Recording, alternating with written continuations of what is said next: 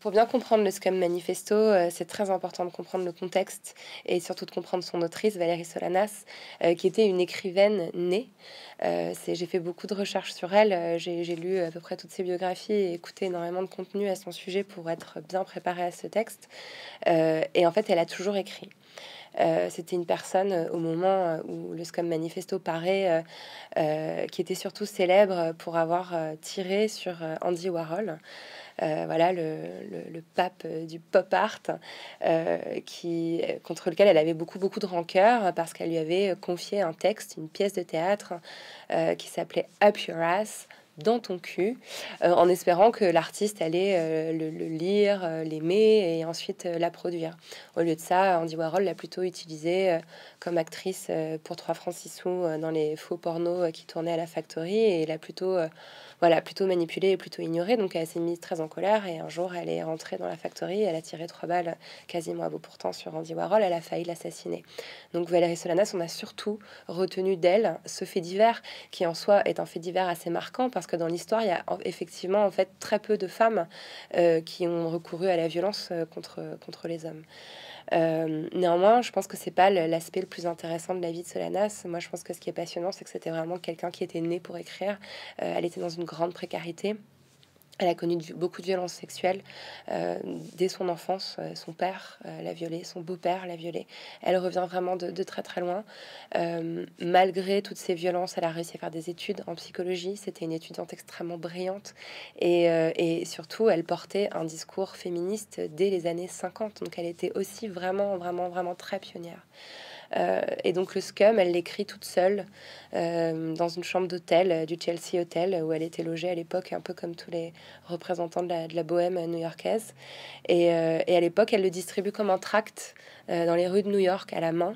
Elle le vend 1 dollar aux femmes, elle le vend, je crois, 2,50 dollars aux hommes. et en fait, après euh, la tentative d'assassinat contre Warhol, c'est un éditeur, un éditeur français d'ailleurs, qui, remet la main sur les droits de ce texte et qui en fait le, phénomène mondial euh, qu'il est devenu. Euh, mais malheureusement, pendant ce temps, Valérie Solanas était internée. elle a été diagnostiquée schizophrène et elle a, elle a fini sa vie seule, pauvre et sans jamais avoir la reconnaissance qu'elle aurait mérité d'avoir. Bah, écrire cette postface, c'était un, énorme défi. D'ailleurs, je crois que j'ai accepté aussi pour ça parce que je trouvais que c'était euh, enfin voilà, c'était un challenge à relever euh, en tant que en tant que personne qui écrit, en tant que personne qui réfléchit aux questions féministes. Euh, donc ça aurait été vraiment, vraiment dommage de passer à côté de cette, cet exercice intellectuel qu'on proposait. il y avait énormément d'enjeux. L'enjeu principal, c'est déjà que je succède à Michel Houellebecq.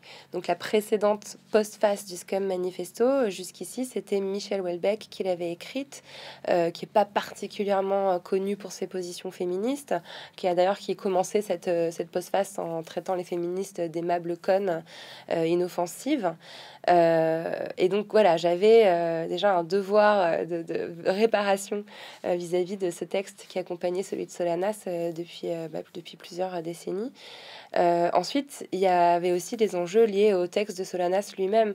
c'est un texte qui est à la fois très avant-gardiste, euh, c'est-à-dire qu'elle a une vision euh, des choses euh, quasiment scientiste. Elle le commence en anticipant un monde où en fait on n'aura plus besoin des hommes pour assurer la reproduction de l'espèce humaine. Et elle est presque en train d'anticiper finalement la PMA.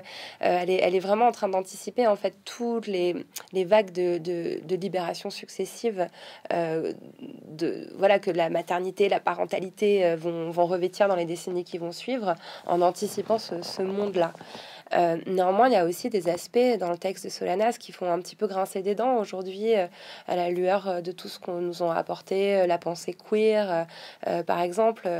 voilà, il y a une vision très binaire des genres. Il y a vraiment une humanité divisée en deux, hommes et femmes, selon des, des chromosomes et des principes très biologiques. Aujourd'hui, on, on, enfin, ce genre de texte paraît un petit peu démodé parce qu'on sait vraiment que la binarité de genre est à la source de la plupart des oppressions euh, sexistes.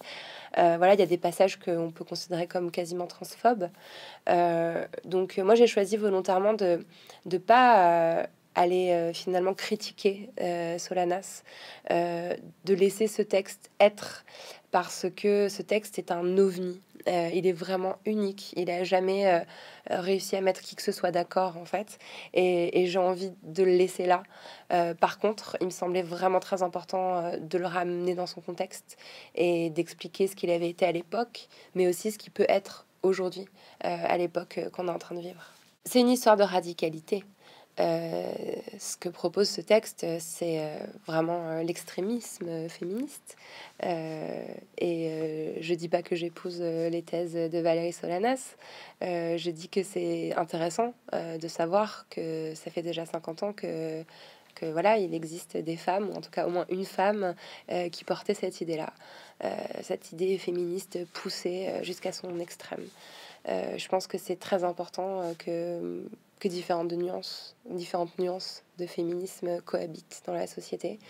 Euh, je pense que lire Solanas, ça permet aussi de, beaucoup euh, nuancer euh, les textes d'Alice Coffin, Le génie lesbien, ou, de Pauline Armange. moi, les hommes, je les déteste, qui ont fait hurler dans les médias il y a quelques mois, alors que vraiment, enfin, c'est d'une douceur extrême par rapport au texte de Solanas. Donc voilà, je trouve que dans une, dans une perspective de, réhabilitation en fait des discours féministes et des textes féministes et des autrices féministes qui ont tendance à être très volontiers effacés des mémoires et des récits. Euh, c'était important de faire ressortir Solanas aujourd'hui.